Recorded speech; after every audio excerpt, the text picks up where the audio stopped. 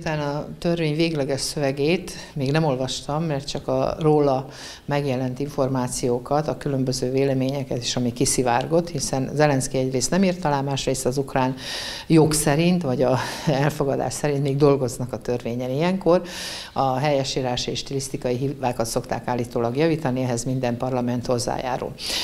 Ami eddig eljutott hozzám, az arra utal, hogy bár tárgyaltak velünk, egyeztettek, de semmi nem került be a tervezetbe végleges formájába abból, amit kértünk.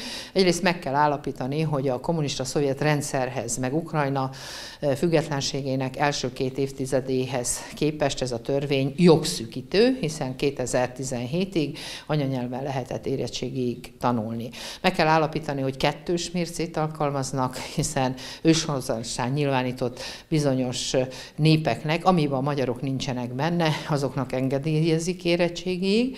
Harmadszor mondhatnám úgy is, hogy egy kicsit olyan, mint a székeljány esete Mátyás királyál, adtam is, meg nem is, ugyanis elfogadták azt a pontot, ez már kiszivárgott, vagy legalábbis megjelent, hogy van benne ilyen pont, hogy a magániskolákban, amelyek állami támogatásban nem részesülnek, ott lehet anyanyelven tanulni, de érettségére az ukrán követelményrendszer normáit teljesítenie kell.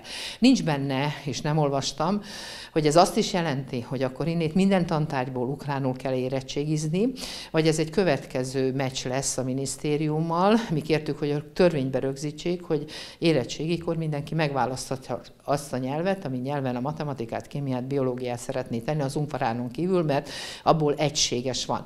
Illetve kértük azt is, hogy a kisebbségi iskolásoknak ukránból más szintű érettségit adjanak, azaz differenciált legyen, figyelembe véve, hogy számukra ez a második nyelv, és lehetőleg kompetencia alapú legyen, de erről sincs szó, hogy a kisebbségeknek, vagy legalábbis nem olvastam, ilyen lehetőségük lennének. Egyébként pedig abban korlátozza, hogy az ötödik osztálytól kezdve ukránul kell tanítani, úgyhogy folyamatosan bővítik ennek a lehetőségét, és érettségire 40 százalék, a teljes érettségire 60 százalék. A kis érettségében, ami nálunk a 9. osztályt jelenti, ott 40 százalék lenne.